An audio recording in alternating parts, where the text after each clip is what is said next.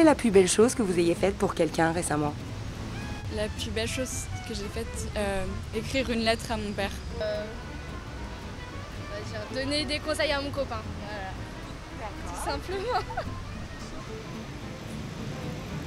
Oh, je sais même pas quelle égoïste je suis. Il y a des choses extraordinaires que vous avez faites sans le savoir. Grâce à vous, en 6 ans, 9 millions d'enfants ont été scolarisés. C'est vrai. Moi Que moi ou tout le monde a fait ça? 31 millions de personnes ont eu accès à l'eau potable. Grâce à moi. Comment je comment? Comment ça?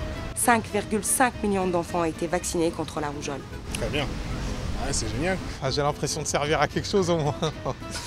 Que diriez-vous aux politiciens qui considèrent que ça ne vaut pas le coup de dépenser 15 euros par an et par citoyen européen pour soutenir de tels programmes? J'aimerais dire aux hommes politiques que ça fait partie de leur responsabilité. de réfléchir si eux étaient à la place des gens qui n'ont ni eau potable, qui meurent de faim, qu'est-ce qu'ils penseraient? Voilà, quand on paye des impôts, on sait pourquoi on les paye. Donc à la limite, si on peut aussi euh, rendre service euh, par ce biais-là, sans forcément qu'on s'en rende compte, ce serait l'idéal. J'ai pas l'impression que la misère se, se réduit très rapidement, alors que les budgets, euh, ça se coupe euh, en un claquement de doigts. Je serais pour que ça continue.